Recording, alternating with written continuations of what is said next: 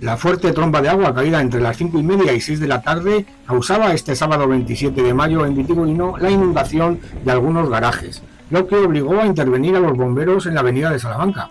Una de las zonas más afectadas fueron los garajes situados en la plaza de Santiago Martín El Viti, donde se pudo ver a algunos vecinos sacando el agua debajo de viviendas y garajes.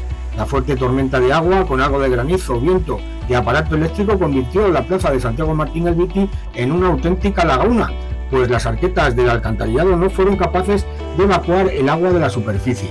Ello obligó a que los vecinos tuvieran que levantar las tapas de algunas alcantarillas.